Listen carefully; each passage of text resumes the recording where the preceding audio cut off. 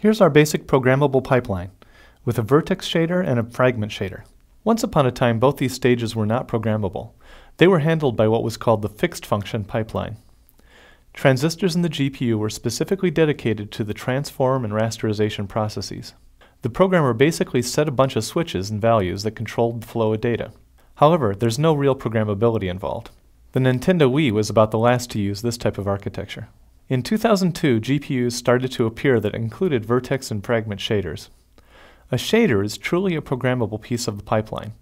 In other words, you actually send little, or sometimes large, shader programs to each of these units. These programs are written in a C-like language, if you know what C or C++ looks like. Up to this point, we've been having three.js do the programming for us. When we create a material, three.js actually creates two small programs, one each for the vertex and fragment shaders. When the object with that material is to be displayed, these shaders are loaded with their programs. The triangles are then sent down the pipeline and the programs are executed.